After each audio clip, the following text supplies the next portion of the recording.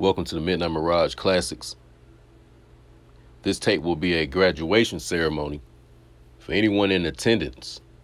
So I want you to just give yourself a pat on the back, give yourself a round of applause.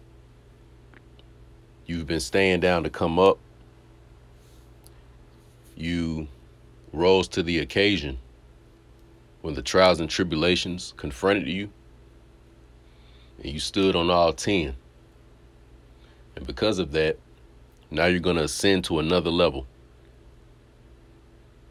So, whether it's some business you've been working on, maybe you've been trying to get a new job, maybe you've been trying to get a new car, something that you've been working on either the last few weeks, last few months, maybe even last few years, maybe even last few decades. But someone out there listening to this right now just achieved something. And it could be big or it could be small. But nevertheless, we all want to be in a position of graduation right now and look to ascend some part of ourselves and to expand our own life. So we're in expansion season right now. We're into extending and expanding right now. All right. And that's the ultimate goal in this tape. That's the inspiration in this tape. That's my intention in this tape for all of us to graduate in one way or another in some area of our lives. The introduction to this tape, I want to talk about how the good decisions and the good choices you make in the future will make you seem godly or divine. The good decisions, the good choices that you make today will one day make you seem divine or godly. A lot of the times, when people have good things happen in their lives, others perceive it as a quote unquote blessing, some, and other people may just perceive it as something good that happened for that person. But a lot of the times, we don't see the behind the scenes and the intricate details and just the everyday daily operations of a person's grind. So when things come into manifestation or fruition, um, sometimes it can be startling, especially if you didn't know exactly um, the road that person took to get there. And generally and casually, you have some people make these kind of comments and statements like, oh, this person is blessed. Oh, this person has favor. Um, you know, and all these type of phrases, let's say, okay? But the truth of the matter is, is that because that person had insight, intuition, and obedience, these are very, very important three factors I just just or attributes rather I just named.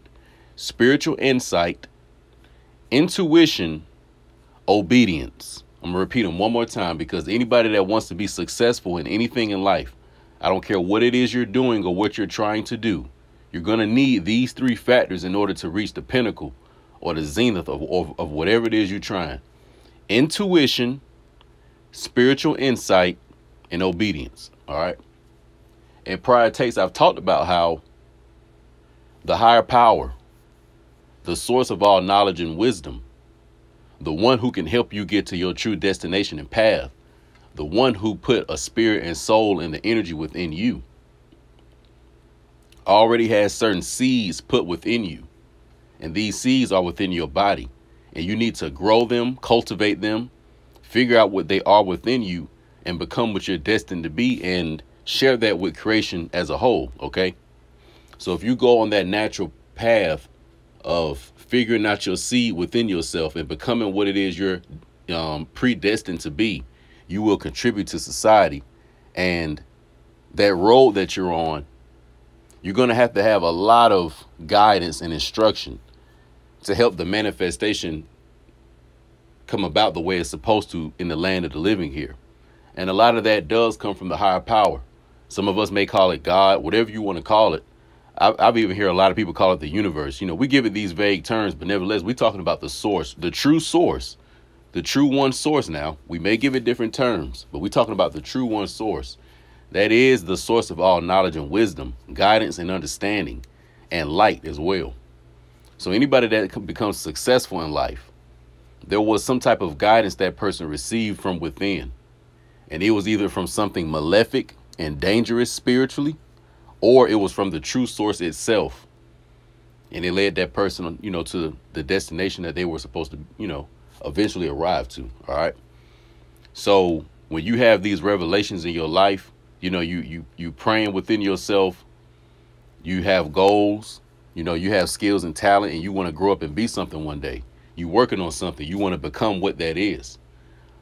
You will receive a lot of signals, messages, impulses, sensation, and a variety of other everyday life experiences that will be giving you more and more clues, more and more information that's getting you closer and closer to your destination. All right. And these are being sent to you from the higher power. Okay. You'll even have certain, um, I guess you could say, spiritual forces that you can't even see assisting you in certain ways. All right. For example, in the Bible, they call them angels. But nevertheless, you're going to be guided and, and assisted and helped if you just, for one, have the intuition, the spiritual insight, but most importantly, the obedience to follow that original revelation. And even when times get tough, even when it feel like it's not going to happen, even when you feel like you get lost, you still got to have that strength or that word that we call faith to keep on pressing through. Because the word faith is basically just, it's a certain type of energy that will create inspiration from within that will allow you to stay on a journey, even though you don't have all the full physical evidence that the original revelation may have shown you. Because the higher power, when things are revealed to you, you know, based on what you want to really be in life, and the higher power shows you how this can happen. If you just follow it this particular way, it's going to take a time to happen. And, you know, people can get discouraged along that road. But you have that faith, it's really just a deep inner confidence to know that, no, this is going to happen. I may be in a tough time now, or you know whatever the situation may be but no this is going to happen. So therefore i'm going to keep pressing through even though things right now look kind of shaky and funny.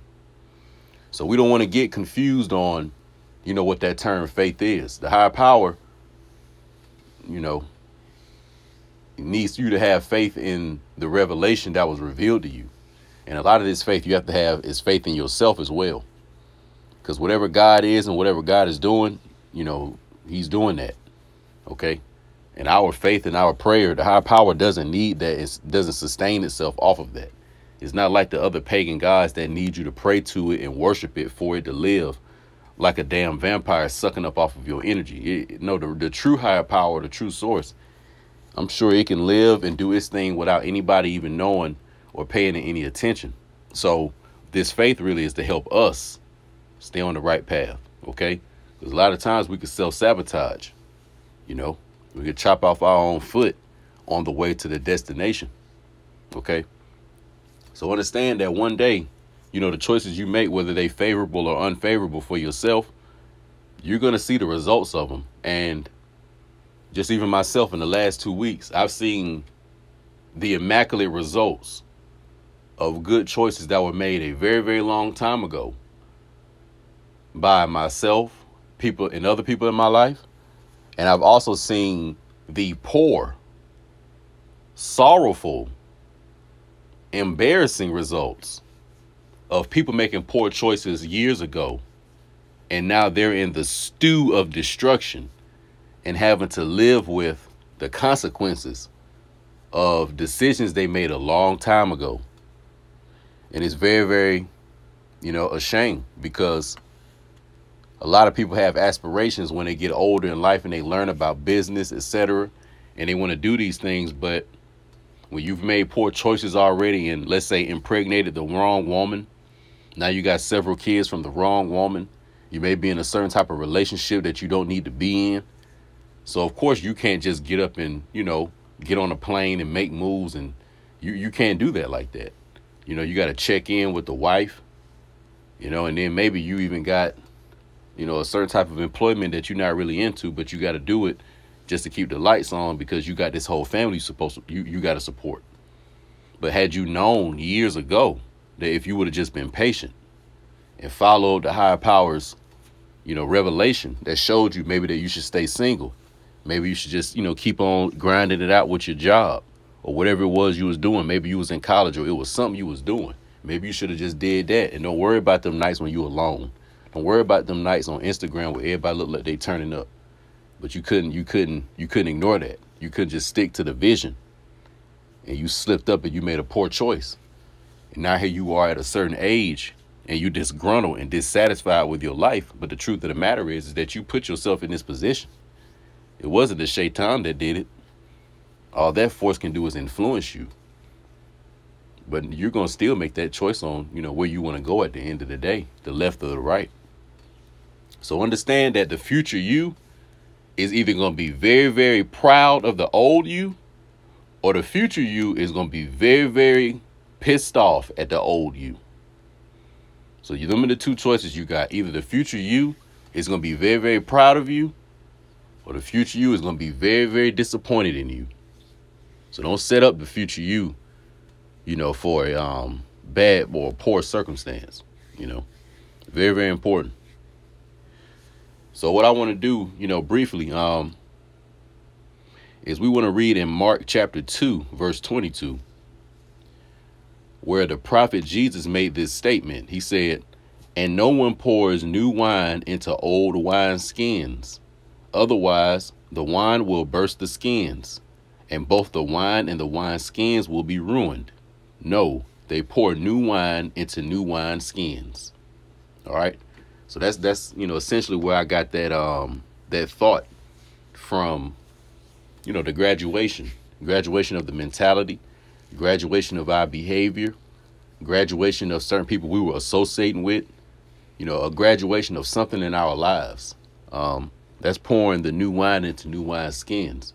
So maybe, you know, as we contemplate, we we, we may analyze ourselves and see certain poor decisions we made. We clean these behaviors up or this thought process or this certain emotional pattern that we had, we delete it, get rid of it. All right, so we can get better results in our life. So now we've poured out that old wine. All right, and now there's a fresh new wine, fresh new knowledge. When you have the truth, that that that represents that new wine. Okay, when you have that divine light from within, because intuition and spiritual insight in spiritual text we call that light so you know how you may read about the light of God, or when Moses saw the burning bush, or when Moses came down from the mountaintop, his face was glowing. He he was he was radiating a strong bright light. That strong bright light in in Islam is called An-Nur. Okay, the An-Nur. And this is what gives you intuition and insight. All right. So you have mechanical knowledge, which is information you can learn by reading books and studying these books. And by repetition, you will get a grasp of this particular type of knowledge, whether it may, may be mathematics or any other branch of learning that you may choose to engage in. If you engage, if you do it in a repetitious fashion, eventually you will learn it. So most of these, you know, um, practices out here, whether it's being a doctor, an accountant, no matter what it is, if you study that science or that particular branch of learning and you do it enough and you're consistent at it enough, then you're going to learn it and you're going to know how to do it and perform it. So that's mechanical knowledge. But there's another type of knowledge that cannot be gained necessarily from reading books. All right. It's more of a, what's the word I want to use? Um, it's more of a macro form of knowledge. So when you learn, you know, what spiritual knowledge is going to teach you about a variety of things in one package. Okay. So you'll be able to tie everything together, all those nuanced details, um, the intricate details, the spiritual insight, you know, what they call intuition. It'll give you those, you know, um, excuse me, sorry about that. It'll give you um that extra insight you need rather. Excuse me. The extra insight.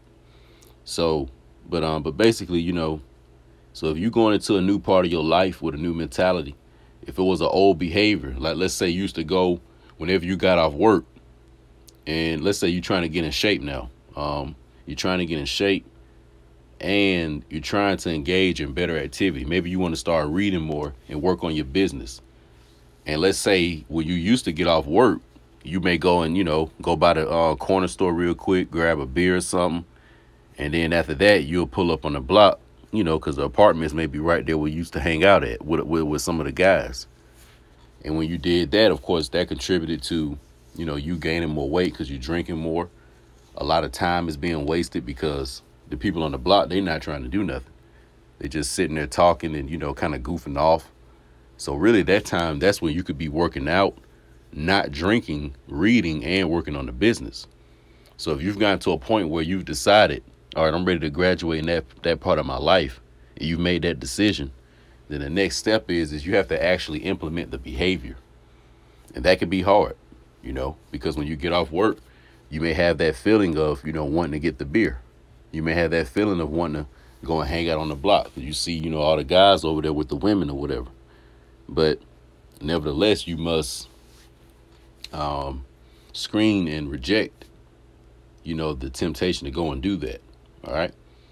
Um, so you got to, you have to know yourself and you have to know what it is you probably need to move past, because it may be another person out there that when they get off work, going and getting a beer and hanging out on the block, that may actually be the path they supposed to take to get to their success. So what's not good for you may be good for someone else, and what's good for someone else may not be good for you. So you have to know yourself and know, you know, what is it, you know, that I'm supposed to be doing. And don't be worried about what somebody else got on a plate. Don't be worried about, you know, how this person can do this and things still work out, but then when I do it, it don't work out. Yeah, because they got a whole nother configuration to their life. They got a whole other um, setup, dynamic, and reason for why things are the way they are and you're not the higher power, so you don't really know why that may be set up in their life like that. So we should always be paying attention to what we doing and not, you know, be caught up and consumed with the light that other have others have and the results from it. Because then when you start paying attention to other people too much, that's gonna turn into the jealousy. You know, so you want to watch out for that. Um, another thing I want to talk about is just, you know, real briefly, the esoteric symbolism of the jaw and the wicked ones in the modern age who are one-eyed. So think about how a lot of these movies you'll see somebody with one eye. They may be like the pirate with one eye, or it'll be the Cyclops with one eye, etc. Right? Ultimately, what that one eye symbolizes is the lack of spiritual insight, intuition, and obedience. I'm gonna repeat one more time. When you see somebody one-eyed, that's an esoteric symbol for someone lacking intuition, spiritual insight, and obedience, and ultimately that divine light that leads you on that path. So that that's somebody that lacks that. All right. So when you read in the Bible or different books and it talks about somebody being blind, and it, you know, and because they're blind, they may they may lack judgment. Like when you read about Isaac and how in his elder years he was blind. And because he was blind, it altered his judgment. And, you know, he was about to try to follow the tradition and give Esau the blessing. Whereas, even though Esau was the elder son, he was very, very carnal in his ways and he was one eyed. He had no spiritual insight, he had no intuition. So that's when, of course, you know, Jacob's mother came up with a plan to make sure Jacob gets the blessing etc. All right. So we don't want to be one-eyed people either. We want to have spiritual insight. All right. So always take that time. So you know, just do a lot of self-analysis, being self-accountable, being self-aware. All right. Doing that homework, you know, that introspective evaluation. You know, what is it that I need to work on? You know, let's say if you had a conversation with somebody and maybe you you said something the wrong way you know man did i say that the wrong way or you know i didn't you know did i offend them? Because it may have been a situation where you offended somebody maybe you didn't mean to but it could have came off a certain way. So in other words we always want to just be evaluating ourselves to make sure that we're on point all right? Um, that's very very important very very important. Um, so i really want to get ready to wrap it up with this um,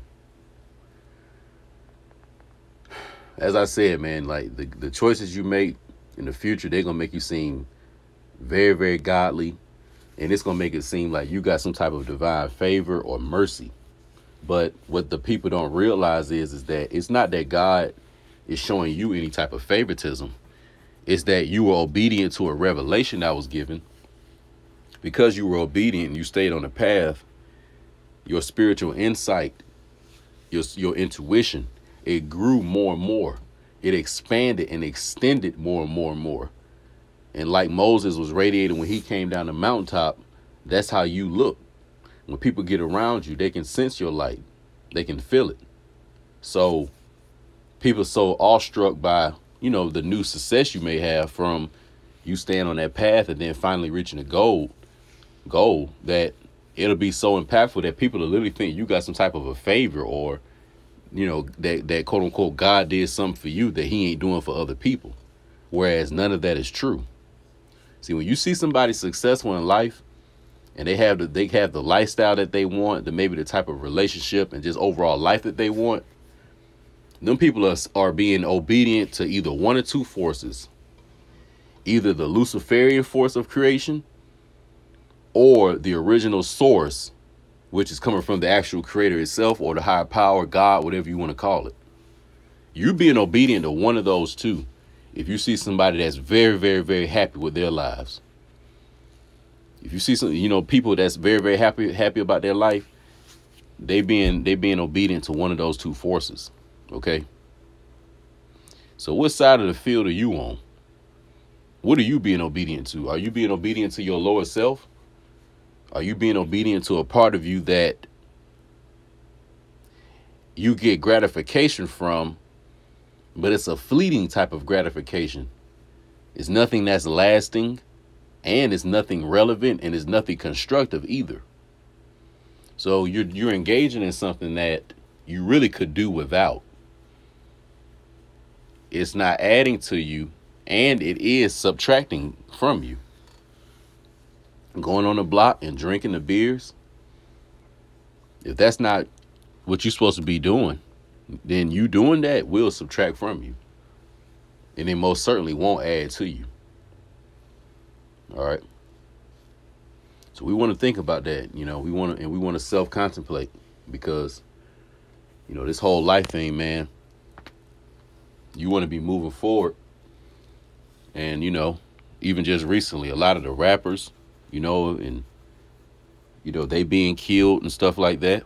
Um, and there's just a lot of things going on in the world. So you want to be on the right path and be on you know your road and, and, and on your particular path um, because you're gonna be so busy taking care of business that a lot of this negativity going in the, going on in the world you're gonna stay away from it you know some of it you may know about some of it you may not but it's not gonna have that negative effect on you all right that's why you got to be purpose driven you know when you leave the, when you leave your home you leave your apartment in the morning or wherever it is you're staying you know it, it just shouldn't be no lollygagging you know, you got to know where you're going, what you're going to do when you get there, maybe how long you're going to stay, have an idea of who may be in that area, even if it's a store, you know. But you just want to be thinking out here, man, and uh, and be sharp. You know, if you got loved ones, you you got to make sure that they up, they up the point with up the par with what's going on out here. You know, uh, what what the temperature is like of people. Cause it's a lot of it's a lot of people that have good hearts and good intent, and but it, you know it's still things that they may not be aware of. You know, to say the to say the least. So, so any kind of information you have from the light that you have, uh, you may want to share that with people that's around you because, yeah, it's um it's definitely going down out here.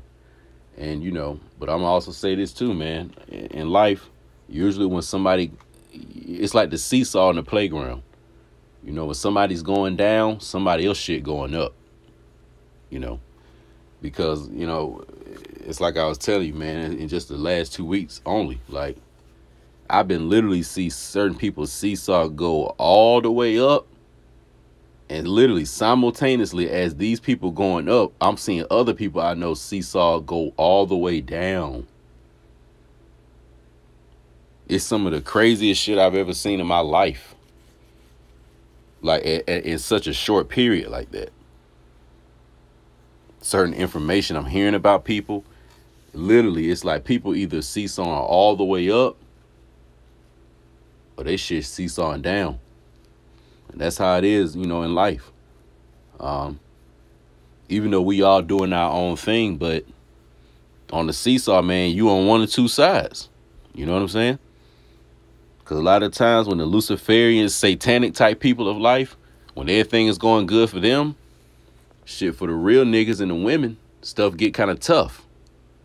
But as soon as things lighten up, the people that's real, the success start coming, the happiness start coming, and they start rising in life, literally at that same time, the Luciferian Satanists, that's when you see them getting literally, you know, eliminated. And they just start dropping left and right. And shit just start going south for them. So, you know, you just got to always be, you know, looking at the food that's on your plate, man. And whether something going good for somebody else, you salute them. And when something going bad for, for, for somebody, you know, if you give, I guess, some kind of good advice to maybe help them get out of it, you do that. But if it's something bad and you don't even need to be around it, I say you just stay all the way out the way. You don't give no good advice to it. You don't be around it. You don't have no pity for it. And you don't even have no negativity for it. You don't even look at it like I'm happy to see this person in a down position. It could have been somebody that fucked you over. Somebody that was talking reckless about you, putting lies out about your name. You know what I'm saying? Trying to make up flugazi shit about you.